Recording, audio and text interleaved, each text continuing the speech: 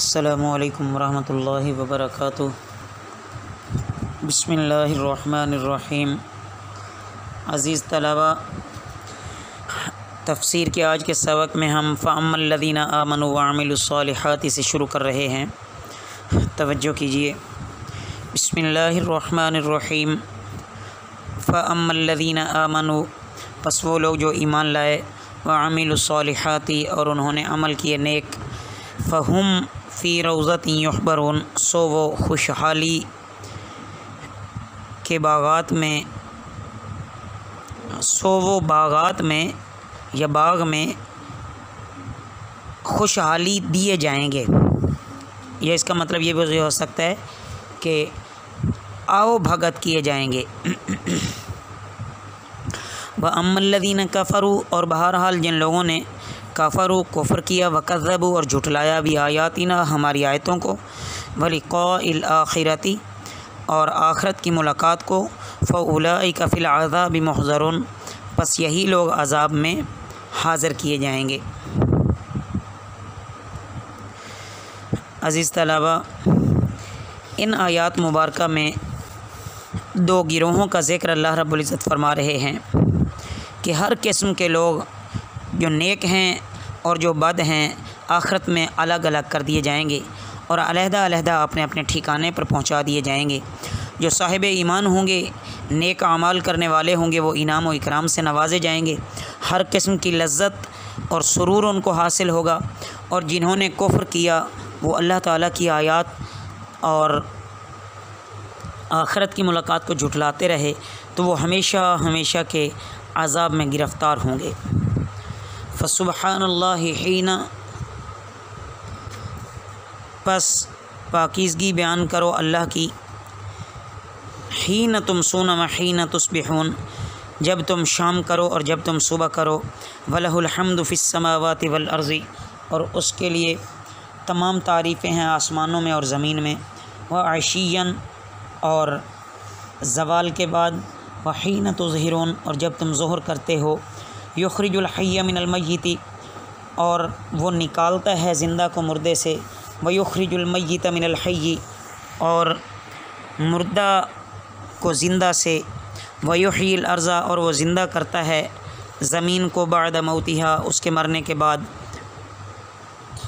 व कदाली का तुखरजून, और इसी तरह तुम निकाले जाओगे। वमिन आयाति ही और उसकी निशानियों से है। अन खलाकुम मिन तुराबिन, के उसने पैदा किया तुम्हें मिन तुराबिन मट्टी से। सुम इदा अन तुम फिर जब तुम बशरुन तन तशरुन आदमी हो, फैले हुए वमिन आयाती ही और उसके निशानियों में से है, अन खला कलकुम मिन अनफुसिकुम, के उसने पैदा किया तुम्हारे लिए तुम्हारी जेंस से। जऊजन जोड़े, लितस्कुनु इलेहा, ताकि तुम सुकून हासिल करो उनकी तरफ़। वजा अला बैनकुम और उसने किया तुम्हारे दरमियान मवदत व रहमा, मोहब्बत और रहमत। इन नफ़ी का बेशक इसमें लायातकौमी यतफ़क्रून अलबत्त निशानियाँ हैं उन लोगों के लिए यतफ़क्रून वो फ़िक्र करते हैं। मेरे अज़ीज़ तलबा, इन आयात में अल्लाह रब्बुल इज़्ज़त ये बयान फरमा रहे हैं कि जब ईमान और अमल साले की फ़जीलत तुमको मालूम हो गई और तुम जन्नत में जाना चाहते हो तो तुम अल्लाह ताला की इबादत इख्तियार करो। तुम अल्लाह ताला की इबादत इख्तियार करो, जो दिल, ज़बान, आज़ा और जवाहर सबसे होती है। और इबादतों में नमाज़ आला दर्जा की इबादत है, जिसमें तीनों किस्म, यानी दिल, ज़बान और अज़ा की याद जमा कर दी गई है। तो तुम सुबह, शाम, पिछले वक्त और दोपहर के वक्त अल्लाह की पाकी और बड़ाई बयान करो। यही अवकात फ़र्ज़ नमाज़ों के भी हैं। सुबह शाम में फ़जर, मगरब और इशा की नमाज़ आ गई। पिछले वक्त में असर की नमाज़ आ गई और दोपहर ढलने के बाद जहर की नमाज़ आ गई। तो इसलिए यही पाँच अवकात यानी फ़जर, जहर, असर, मगरब और इशा अल्लाह ताला की इबादत, यानी नमाज़ के लिए मुकर हुए हैं। उसके बाद मज़ीद फरमाया, अल्लाह रब्बुल इज़्ज़त की कुदरत की निशानियाँ हैं कि अल्लाह रब्बुल इज़्ज़त कैसा कादिर है कि वो जो चाहे वो कर गुज़रता है। जानदार को बेजान से और बेजान को जानदार से अल्लाह पैदा फरमाते हैं। जानदार इंसान को बेजान नुतफ़े से अल्लाह बनाते हैं और बेजान नुतफ़े को जानदार इंसान से निकालते हैं। ज़िंदा जानवर को मुर्दा अंडे से और मुर्दा अंडे को ज़िंदा जानवर से अल्लाह निकाल देते हैं। तो ये कैसी अजीम अल्लाह रब्बुल इज़्ज़त की निशानियाँ हैं। अब भी अगर इंसान झुटलाता है, नाफरमानियाँ करता है तो ये उसकी अपनी बदबख्ती है।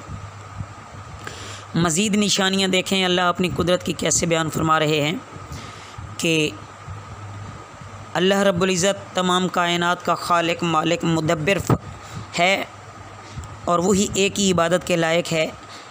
आदम सलाम को अल्लाह ने मट्टी से पैदा किया, फिर उन्हीं के अंदर से उनका जोड़ा निकाला और उनसे फिर नस्ल इंसानी दुनिया में फैला दी। फिर मज़ीद इसका फ़ायदा बयान किया कि तुम्हारे फ़ायदे के वास्ते तुम्हारी जिन्स की बीवियाँ बनाई ताकि तुम उनको, उनसे चैन और सुकून हासिल हो तुम्हें।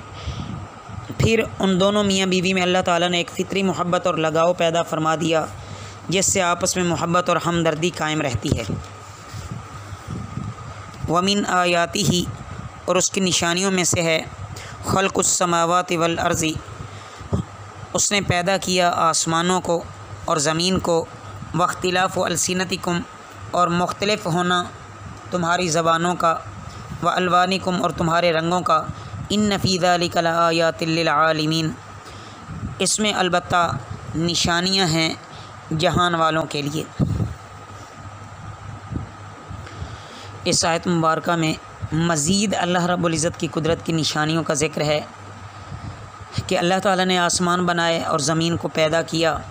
इनका अदम से वजूद में लाना, फिर एक अटल जबते पर इनको कायम रखना, ना ज़मीन को ज़्यादा सख्त बनाया, ना बहुत ज़्यादा नरम बनाया, फिर इसके हिलने से बचने के लिए अल्लाह रब्ज़त ने इस पर कैसे पहाड़ गाड़ दिए? आसमानों को बग़ैर किसी सतून के अल्लाह रब्ज़त ने खड़ा कर दिया। तुम्हारे रंग अल्लाह ने मुख्तलिफ़ बना दिए। किसी की ज़बान कुछ है, किसी की कुछ है। किसी का लब लहजा कुछ है। लाखों आदमी अगर जमा हो जाएँ, एक मुल्क के, एक ज़बान के, एक कुंबा कबीला के। लेकिन नामुमकिन है कि हर एक में कोई ना कोई इख्तलाफ मौजूद ना हो। तो ये अल्लाह रब्ज़त के अलावा और कोई नहीं कर सकता। अल्लाह रब्ज़त की इन तमाम निशानियों से यही हक बनता है कि अल्लाह रब्ज़त को वहदहुल्ला शरीक माना जाए और उस पर कामिल यकीन और इतात की जाए उसकी। अल्लाह रब्ज़त हमें सही अमल की तोफ़ी अता फ़रमाएँ। वमा अलैना इल्लल बलागुल मुबीन।